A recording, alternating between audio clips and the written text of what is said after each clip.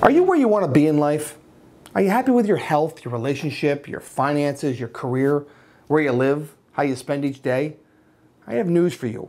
You can flip your life just like you flip a house. In our investor language, flipping is the art of taking something older and run down and adding value so when completed, it looks similar, but it's very different and worth much more. The good news is, if you don't like your life, you can flip yourself so you'll look similar, but all new and improved, and worth much more to yourself and those around you. And here's how to flip yourself.